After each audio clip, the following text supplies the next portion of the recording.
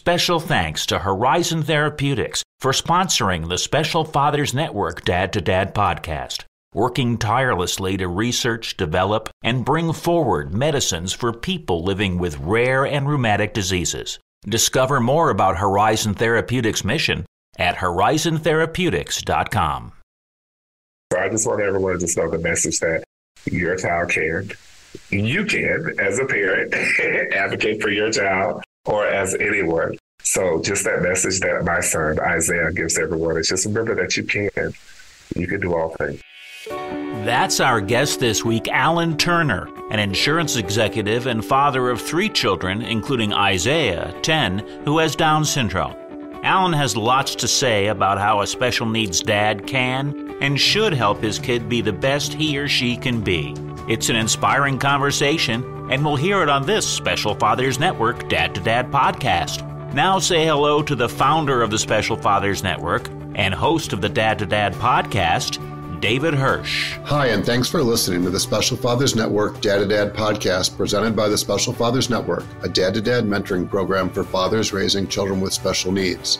On Saturday, May 11th, the 21st Century Dads Foundation will be hosting its fifth annual Special Fathers Network Dads Virtual Conference.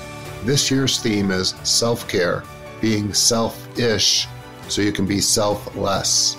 We've assembled a great roster of presenters, and there will be plenty of time for small group breakouts so you can meet like minded dads striving to be the best dads they can be and to help their children reach their full God given potential. Registration is free.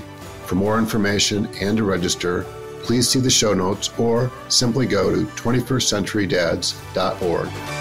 Now let's hear this inspiring conversation between Allan Turner and David Hirsch.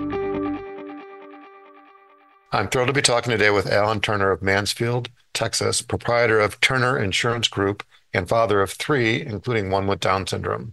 Allan, thank you for taking the time to do a podcast interview for the Special Fathers Network. Thank you. You and your wife, Ebony, have been married for 23 years and are the proud parents of three children Anaiah, 19, Jael, 17, and Isaiah, 10, who has Down syndrome. Let's start with some background. Where did you grow up? Tell me something about your family. I grew up in Dallas, Texas, and I am the oldest of five. so, mom and dad, um, married, wonderful family life growing up with just me for the longest till I was eight. Then my little brother came into the picture. and then it kind of was like that's when my mom and dad divorced. And life kind of changed a little bit after that. But, you know, really enjoyed my being the only child for those first eight years. so that was really fun. Um, but yeah, Dallas, Texas was was home for me. Really enjoyed. I just remember my dad, you know, being able to take me different places and do different things. We would go to different games, basketball games. I just remember all those different things we did. So we'll get into that a little bit later on. but it was really fun. And then, of course, my, my little brother got into the picture, and then more siblings after that. So that's the kind of remember that. So, out of curiosity, what did your dad do for a living? So, my dad was a roofer, an entrepreneur, shall I say. And so he would get all of the neighborhood guys, the high school kids that were older than me, he would give them jobs and tell them to come help him, you know, work on roofs. So it was fun to kind of be with the older guys, and I'm a little kid, so they're all like my brothers, kind of looking after me. So that was fun. When you think about your relationship with your dad, how would you describe that? Uh, first eight years, me and him, totally, just me and him. That's it. And I am a junior, so obviously I'm his namesake. So it's just us. I think he was just super proud to have me. I think he was really proud to have a little little him running around here. Mini me. Yeah, that's it. That's it. And that's what everyone says. They're like, you look exactly like him. So, so we were that. We were really, really close, really, really tight. And then um, that kind of changed when my parents divorced.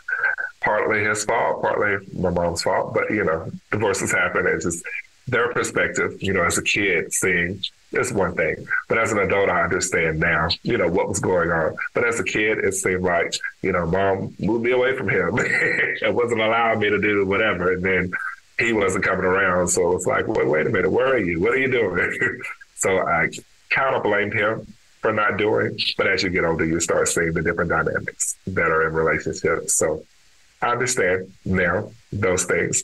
Still felt like he could have fought harder to see me more often, but but yeah, you know, life goes on and we all kind of learn. So, what do you think the more important takeaways are from your relationship with your dad? Maybe a lesson or two learned. One thing I always said is when I tell my kids something, I'm always going to make sure I do it, I follow through. And if anyone makes promises to my children, I always make sure that they follow through on those promises or just don't make those promises to them. So that was one thing I noticed as a kid. If you're going to promise something, please follow through. Because as a kid, you remember. Maybe as an adult, uh, okay. But as a kid, you kind of put your whole world in on that. So those are things I always said to myself. I will make sure if I tell my kids want to do something, I need to make sure I do that so that they have that going through. Yeah, well, those words are ringing very uh, strong in my ears as well. That your word is your bond. Yeah. Right. If I say I'm going to do something, you can count on it. Right. And I think that the underlying characteristic is trust, right? You can trust me, right. right? And if you grew up in a very trusting environment, you might take it for granted. But if you grew up in an environment that wasn't so trusting, right. then it becomes really important to you. Right. Right. Right. And that's sort of what I heard you saying. Yeah. Because uh, that was my experience as well. Yeah. So absolutely. I'm thinking about uh, your grandfathers, uh, first on your dad's side. Um, and uh, what what did your uh, grandfather Turner do? He did a multiple different jobs. What I remember the most, one of the jobs that he did was working at the laundromat. He was the person that opened and closed it. So I thought he was so important because he had the keys to this major place, and he could go in and shut the lights off and close the doors, you know. Now, of course, we find out later on that, you know, I'm older now, I know that's a janitor. but as a kid, I'm like, wow, you have control of this big major place. and they trust you to handle it. So I was able to go in when there's no one else in there and kind of walk around. So that's what he did. But really, outside of his job, what I really remember the most was a garden. He liked the garden. And so I remember going out in the garden with him and we would pick tomatoes, we would pick all kind of different vegetables. And I just really remember spending that time with him and just kind of getting my hand in the dirt with him. And it was like a little lot across the street from our house, and we it's from my grandmother's house. And we just go over there and just kind of be in that garden all day. And he was standing there when he's not at work. That's where we would find him at. And he would go over there and just grow all kinds of things. So I like being over there. So that was really cool. Those are, that's the memory I remember the most about him was being in the garden with him. Excellent. How about your uh, grandfather on your mom's side, your maternal grandfather? Yeah, and I never got to meet my maternal grandfather because he passed away. So never got to have that relationship. But what I did see from my uncles and from my mother and aunts, I know he had a major influence on them. So even though I never met him physically, I still feel like I have a little bit of that from him. Yeah, well, sorry that uh, he passed away at such a young age, your mom's mm-hmm. young age. Right. And that uh, through some uncles, maybe you learned a little bit more about him and some other men stepped into your life to be right. most positive adult male role models in his absence. Right. So my recollection was that uh, you went to University of Texas, Austin. And right. Uh, what type of degree did you take there? I did computer science computer engineering technician. I was an engineer basically for 10 years and got tired of the industry, or shall I say, the industry started closing in on me. During that time, there was a lot of industry closures. And if you wanted to stay in the industry, you either had to go to Europe, you had to go to Germany, or you had to go to, you know, Samsung was one of them, you had to go to Korea. And I wasn't going to do any of that. So, so I said I needed to find me something else to do. And so 10 years later, I went to insurance, and now 17 years later from that is where I'm at. So, yeah. So, what, what was it that prompted you to go to the insurance industry? Really, I was really looking at what can I do that can be my own boss, my own business. I, I we started having children, and I'm like, well, I want to be there with my kids, but I want to be able to have the freedom to do the things I wanted to do with them. So, obviously, that first two years from my oldest daughter was born and before my baby girl was born. I was working nights, so we didn't have to pay for daycare per se, But that was kind of rough when you're working 10, 12 hour shifts. and then you're coming home and you have a baby at home and then your wife is going off to work. So it got a little rough. So I was like, there's got to be an easier, better way to do this. So I decided to be a home inspector as well as insurance. So I did both of them at the same time, and insurance took off. Um, but yeah, the insurance world really kind of gravitated towards that, and that took off, and then that's where I'm at today. So, what type of work does Turner Insurance do? Every type of insurance except auto and home. How big is your agency? How many agents do you have? We have 70 plus agents at the moment. I always want to be the one to tell them, look, I have opportunities for you. If you're willing to work, I'm willing to get those and make those opportunities happen for you as well. Because when you win, I win. But if you're just one of those where, hey, I just want to kind of, you know, make a little money here and there, you can also be here as well. But I'm just not going to pour as much into you because your commitment isn't there. So, and I, and I feel that's the way in any industry. Except I'm just not going to micromanage it. I'm just going to tell you, you want to do it, come on board, and it is rewarding. So, yeah. Excellent. Well, I can identify a little bit with what you do as a financial services professional for the last, I guess, 39 years. You do have to be a self starter, right? Somebody who, you know, is uh, willing to put themselves out there. And, uh, you know, my business was built on cold calling, not everybody's cup of tea, making mm. 100 plus phone calls a day, 2000 a month. Do the math, that's 24,000 calls a year. Yeah.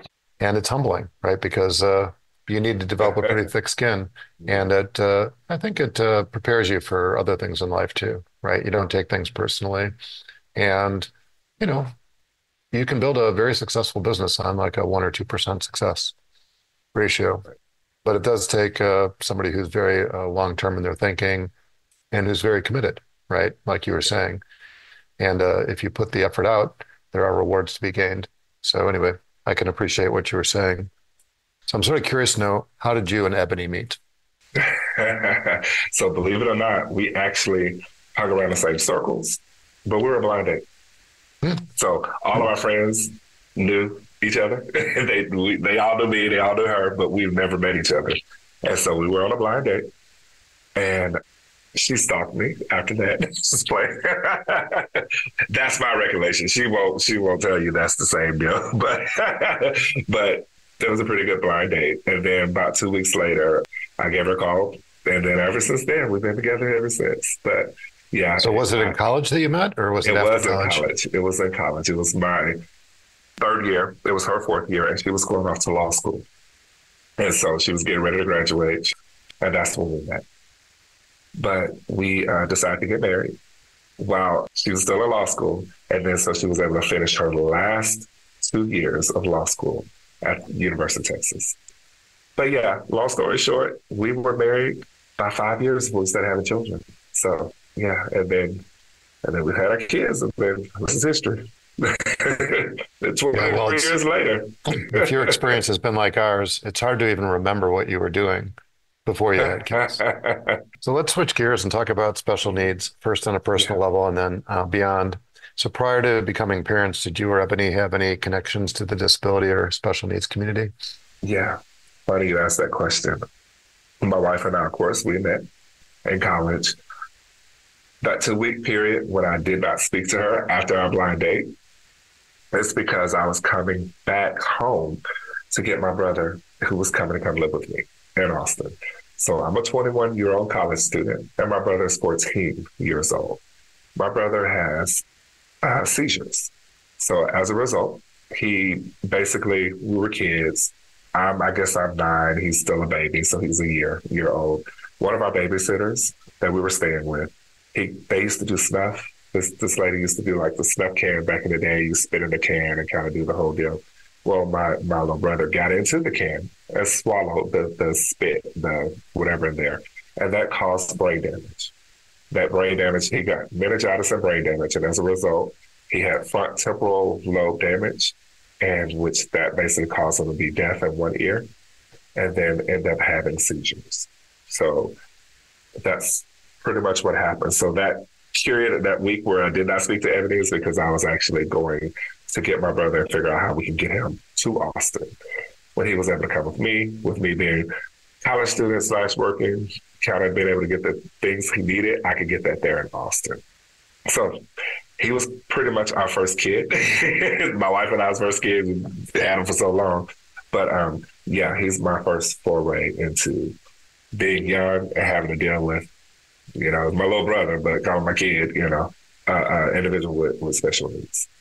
Learned at an early age how to handle that. And then, of course, at the same time, taking care of my brother at that young age as well. So those would be my first forays into the special needs, you know, areas and just kind of having a passion and a feeling for taking care of people. Yeah, well, thanks for uh, emphasizing that.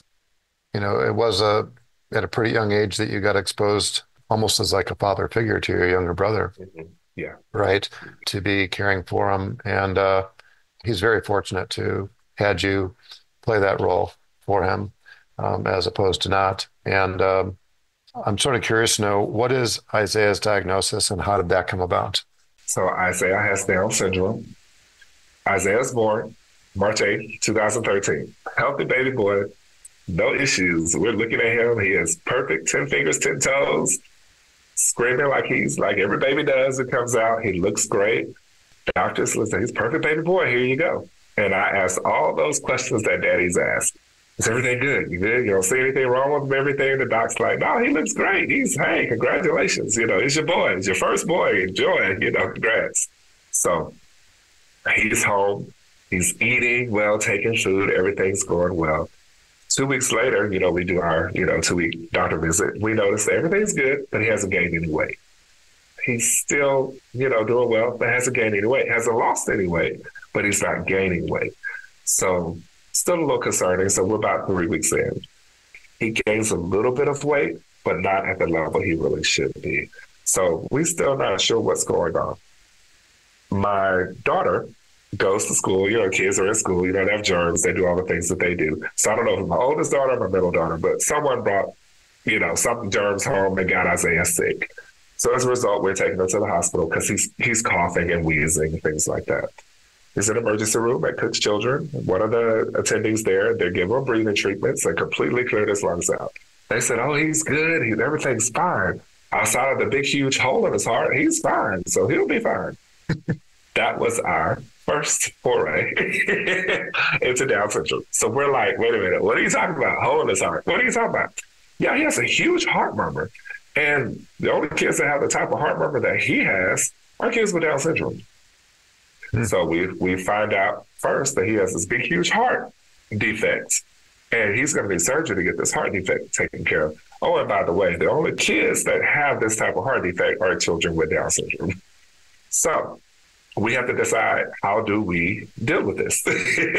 well, the Down syndrome thing was just something that that's not a priority at the moment. The heart thing is. So we're spending, we're getting ourselves prepared for a baby that has to have heart surgery because you're like have this kid that's now seven weeks old now, and now you found out he's in for a fight of his life. And we didn't know. So it felt a little blindsided. Oh, and then he also has another diagnosis that we probably should have known before he was born, but you know, still didn't know. So how do we handle that? So once we got over initial kind of, God, why did you do this?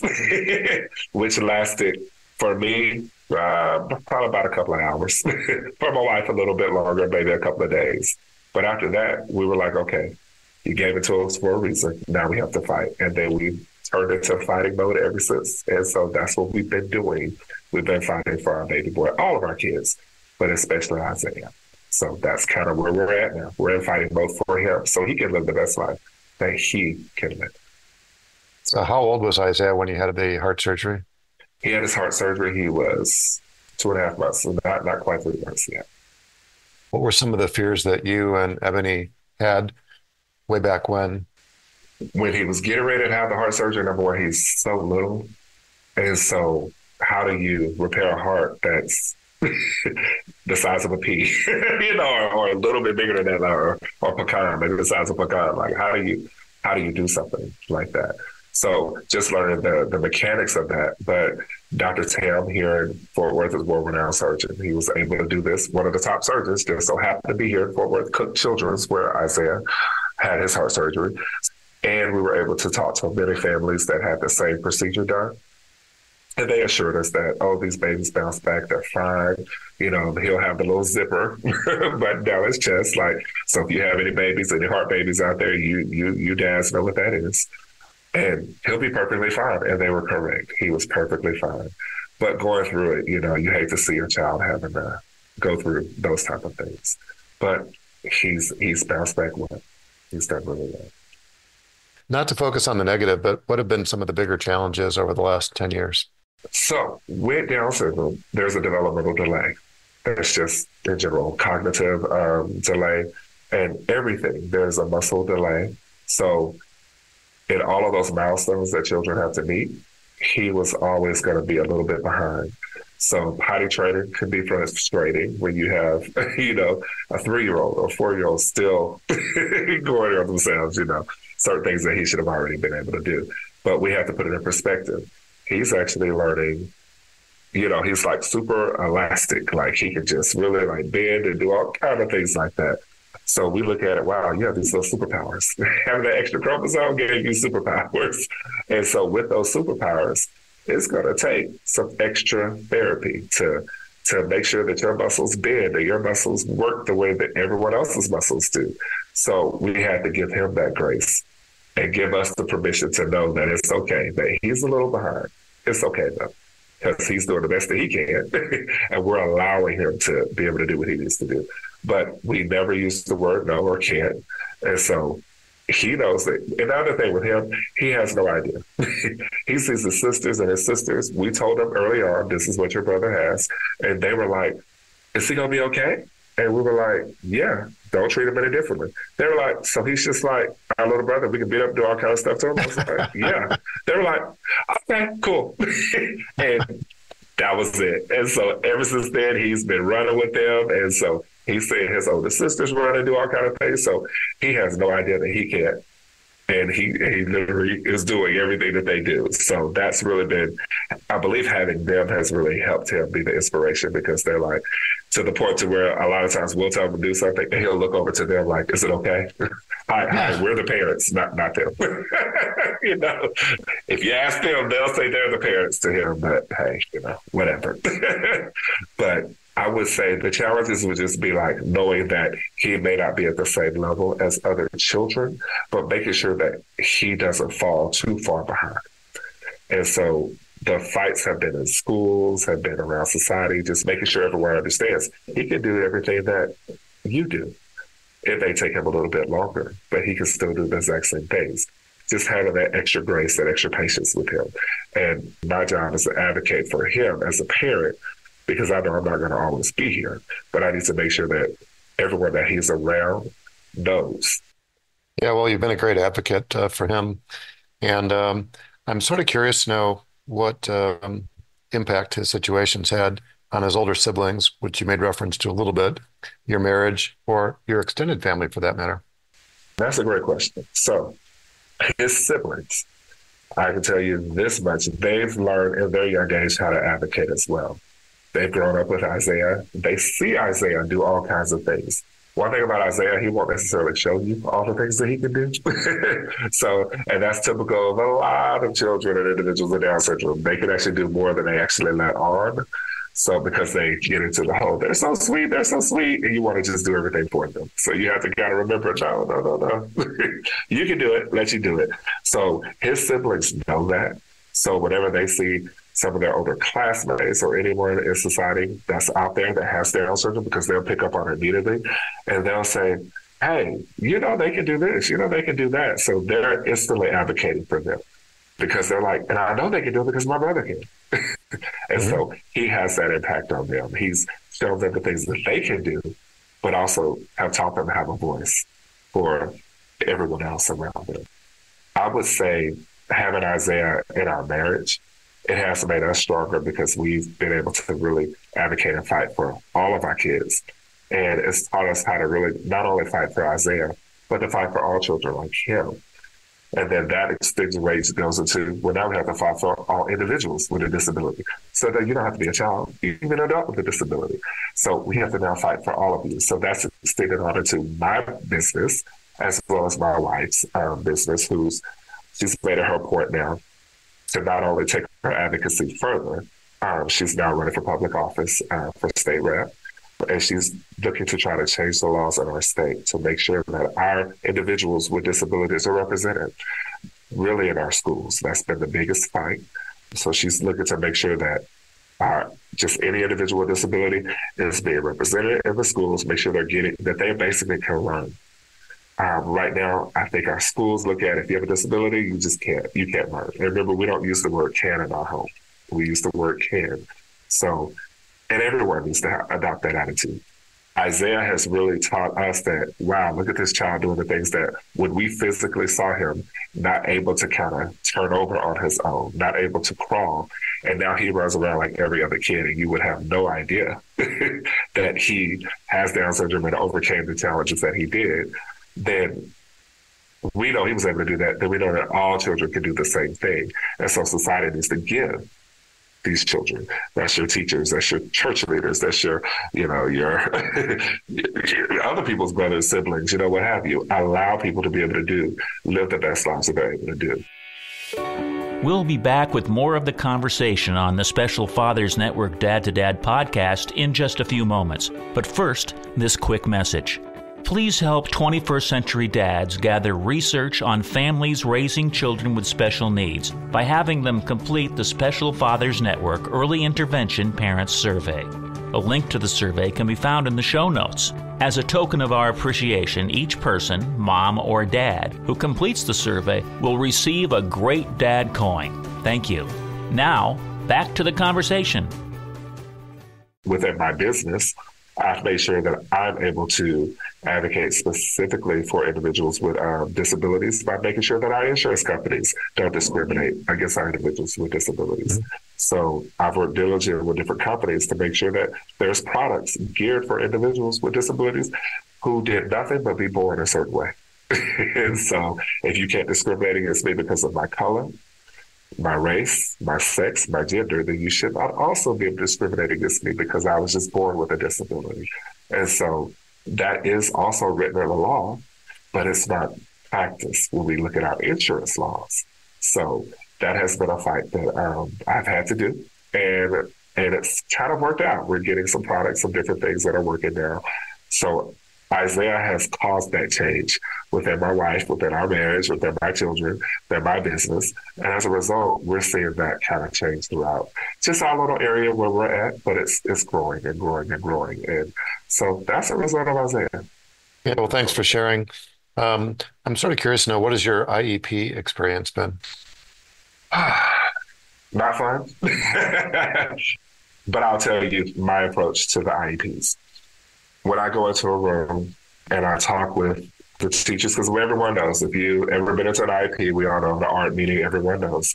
You go in, everyone around the room is the expert of your child, and you as the parent come in and you're just kind of listening to what they tell you that your child can do. And then you take their recommendations, and then you're supposed to sign off and say, okay, great. And then you leave. And then, of course, every time you leave, you go go, go away going, this doesn't reflect my kid at all. this isn't quite what we want, but you don't have the voice. So you don't realize you have a voice to say, hey, no, that's not, I don't like this. So because I advocate the way that I do, every meeting that we go into, I lead the meeting. They always say, you know, who everyone is around the tables and all of that. But then I pretty much go first and I tell them, you know, obviously, this is mom, I'm dad, and let me tell you about Isaiah and the things that he can do. And so I know my child. I know what my child is capable of doing, and I know the things that we want to get him at. And so I always approach this as he's my child at home. When he's here at school, I'm, I'm entrusting you to give him at the same level where we want him at. I want to make sure you're able to do the same thing at school, and I want to work with you to get him there. So that approach every time they come and say, well, these are the things that we can't do, we can't do, or these are the things that he can't do and he's not able to show, I'm able to go back and tell them, well, let's negotiate. How do we get this done? How do we, you know, how do we do all these things? Now, granted, eventually after we go back and forth, they're going to settle on something. Following the IEP has been a struggle. Part of that struggle is they'll tell us one thing, yes, we're doing it, and then we'll find out that actually they're not following the IEPs. This is also part of the reason why my wife is running um, for a state rep. There's really no accountability for not following the IEPs. So we want to make sure that there's some type of accountability there. Now, part of the other issue of not following the IEPs is there's lack of funding. So if these schools don't have funding, then they can't give you the people that they need to make sure that they're able to follow the things that they need to do for the IEPs. And so it's all a, a funding issue. It's really all a legislative issue that needs to be tackled. And I think our legislators forget or don't really think about those children in that situation. So this is why we're why we're doing what we're doing. So when you ask that question about IEPs, I think we have an understanding now after fighting and fighting and fighting with our school, the expectations that we have of them, of what they can do. But we also know now that their hands are tied. And so with their hands being tied, I give you a little bit of grace. I get you're not able to do what I need you to do for my child. So now I can't beat up on you when you really don't even have the ability to do it. So I have to go above and and so that's why that fight has led where we're at now. So yeah, yeah, IEPs have been difficult and they get more and more difficult. After about two years in a school, they may start seeing things your way. But then, you know, if you change schools, you switch schools, it's like you're starting all over again. And so that's what's been frustrating. And every parent I've talked to has had the same situation. no one is is, you know, not having to fight this fight. So so yeah. Yeah. Well, thanks for being so open and authentic about the experience. Uh, one of the things that I heard you say was that instead of being passive, you're you know more intentional. You lead the meetings, right? Yeah. Um, which I think is a good first step. And you're quick to emphasize what he's capable of as opposed to what he's not capable of, and that you embrace the fact that uh, you're his first teachers, right, as his parents, and he's going to be spending X number of hours a day or a week in the classes, but you're taking responsibility for being his first teachers. And it is unfortunate there's a lack of accountability, but without advocating like you do or like Ebony does, why would it change or why would things improve? So I admire you for your commitment not only on Isaiah's behalf, but you know, on the broader population. So let's try to focus on the positive, which I know is your way of doing things. I'm thinking about supporting organizations. What are the organizations that have played an instrumental role either on Isaiah's behalf or on your family's behalf? One, I would say it's been a real strong, helped us a lot. The Down Syndrome Partnership of North Texas, which I am a board member of. I have been a member of since Isaiah was born. And then, of course, I joined the board later on. They've been instrumental in getting us connected with the different types of organizations that we needed to be involved with. So I would say they would be the gateway to connecting you to they'll be the hub, shall I say. And they can they have all the resources that connect you where you needed to go. So they have been a strong, strong, strong support for our family. Another organization that was awesome, everyone that's familiar with TCU, Texas Christian University.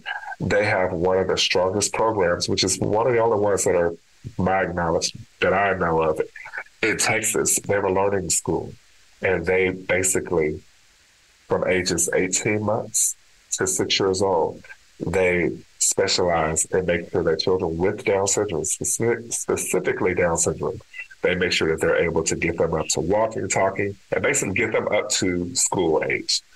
So our kiddos that come from TCU, Kinder Frogs, and they call it Kinder, like kindergarten, Kinder, and then frogs, like horn frogs, which is their, their logo. They call them Kinder Frogs. They get them completely ready for school so that our children, when they go into uh, kindergarten, they're at the same level as the rest of their peers. So I would say those two organizations have been just awesome. There's also a newly formed organization that I'll be remiss not to mention, the Black Down Syndrome Association. That organization specifically looked at individuals of color, Black children specifically. Um, we have our own unique needs as parents. Our community, a lot of times, does not know about the resources, does not know how to go about finding those resources. And that Black Down Syndrome Association is just like the Down Syndrome Partnership of North Texas. They're like a hub. And so they connect those families, those Black families, to other families and other organizations so that they can also get those resources that are needed. So I would say those have been just really instrumental in making sure that our family is where we need to go. Plus, you know, friends, you know, church church groups and all the that good stuff. But um, yeah, those I would say would be the main three organizations that really kind of got us where we needed. Yeah, thanks for sharing. It's uh, encouraging to hear about them. So, in a prior conversation, you mentioned that uh, there's two associations, and I don't remember if it was CalSTAR Corporation or what the connection was, but I'm wondering if you can share with our listeners about that. That's correct. So, as I was telling you, Isaiah has caused advocacy on every front of our lives, and so in my business as well part of what happened is I started contacting a lot of my insurance companies, my go-to insurance companies. One of them I will not mention by name, but they were instrumental in helping me. I had a young individual, healthy, completely healthy individual that happened to not Down syndrome, but has something else. Well, their insurance company denied And they said, well, our insurance records say that we can't, you know, have anyone with this. It's an automatic denial. Well, this individual was working. Uh, this individual was doing great. Their life expectancy, just in general, uh, for an individual that was born with that, is like to age 66. So, why are you denying coverage for an individual just because they were born that way? And so, I told them about the facts of how folks with Down syndrome are living a lot longer lives, a lot more productive, because we've now learned with research the more you get them started early, you know, with therapies and all of that, they can live just as fruitful and you know wonderful lives as everyone else. This particular insurance company was not aware of all of the facts that was presented, so of course they presented it to their head underwriter. That head underwriter said, "Hey, I'm so sorry. I don't know. I don't know how we can make any changes, but I want to go about trying to help you with that." So they connected me with some partners out of California. Those partners in California have developed what they call the CalSTAR organization. And what the CalSTAR group, CalSTAR's Cal, like California CAL and Star STAR, they do group life insurance. So it's a guaranteed uh, life insurance product. And what that does is for any individual 18 to 74 years old, if you are looking for health insurance, they're guaranteed issue health insurance policies. That allows for our families who have not been able to get their loved ones any insurance. Now they're able to get some type of insurance plan.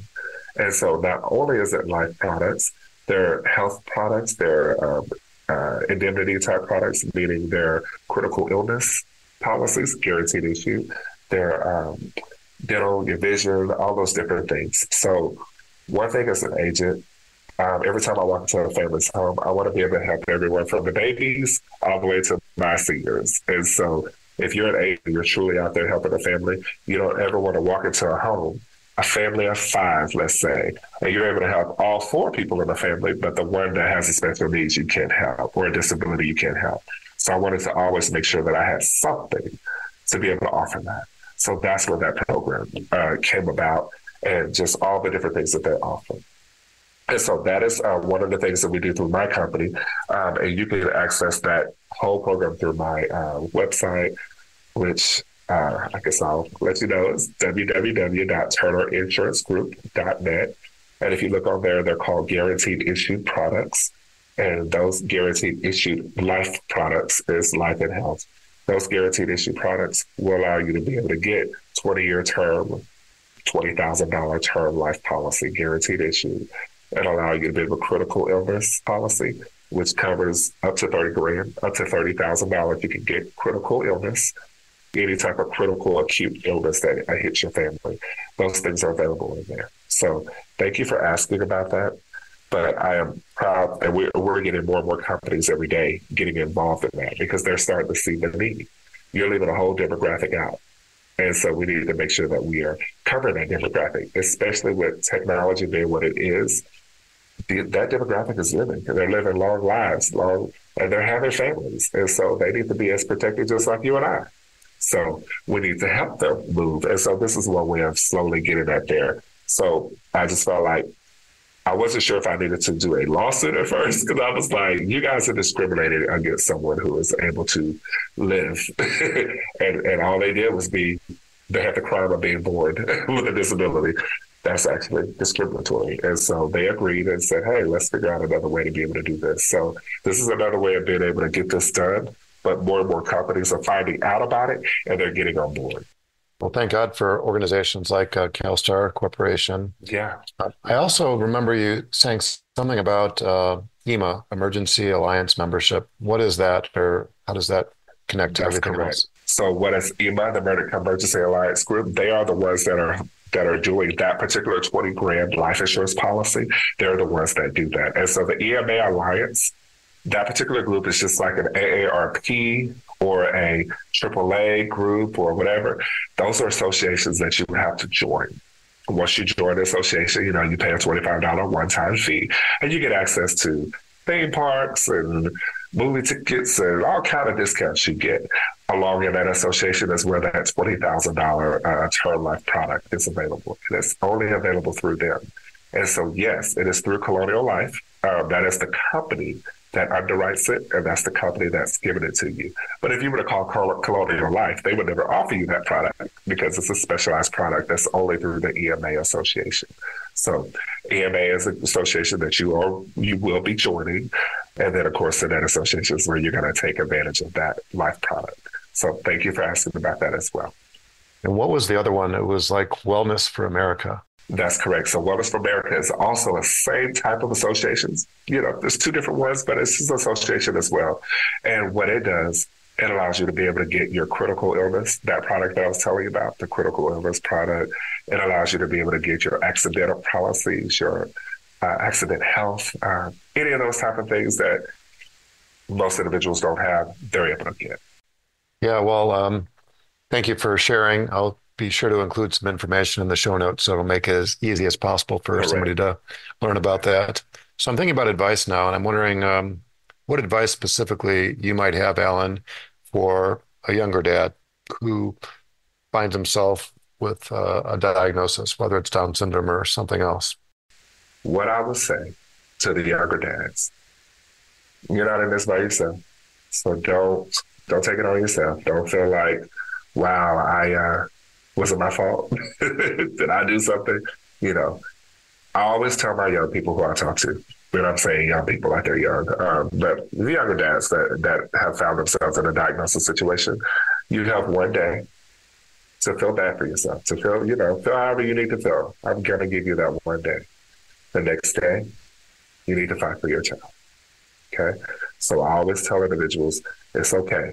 Get it out. Whatever you need to get out that first day, get it out. After that, you start advocating for your child. No one else is going to do it but you.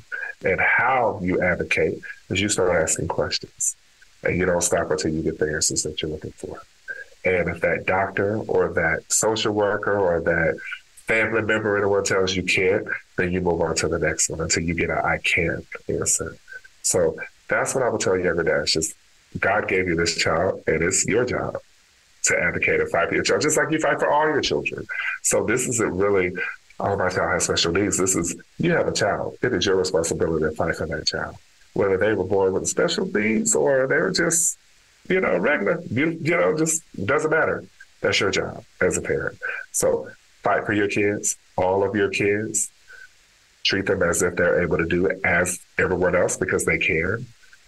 And just keep continue asking questions. Whatever questions you have, just keep asking and advocate. I just always say advocate, advocate, advocate. Not just for your child, but for your loved ones, for your older individuals, your parents, you know, your grandparents. And we're in that generation where, you know, we have to take care of our parents and our children. So we need to make sure we're fighting for both of them. And if one thing I know about this life, if you don't get out of it unscathed, you more than likely will have a disability. I don't care what it is. If you break your arm, you now have a disability. you're, you're, you can grow out of that disability because your arm is going to heal, but you have a disability for a certain period of time. So you have to think of it in those terms. You broke your arm, you have to get some assistance to help you heal to get better. Sometimes you may not ever get better from it, but there's aids, there's adaptive things to help you get there. So it's your responsibility or the person around you, your loved one, to make sure that they go and help you get those adaptive things that you need so that you can live the best life that you can. Yeah, well, I love it. It's a crystal clear message. Uh, you're not by yourself. You need to be the best advocate you can be for your typical as well as atypical kids and uh, be positive. emphasize, you know, what is possible as opposed to, you know, maybe what might be more difficult. I'm sort of curious to know why is it that you've agreed to be a mentor father as part of the Special Fathers Network? why have I agreed? because I actually do this already. This is just something I already do. It's already in me. So, so I have no problem with mentoring. But um, I was purposely, you know, trying to advocate for my brother, make sure he was okay. I did not mention, I have to go back and mention my godson, Isaiah, Isaac, excuse me, my godson, Isaac in Austin. He was born with Fleishman's disease. And so he is wheelchair bound.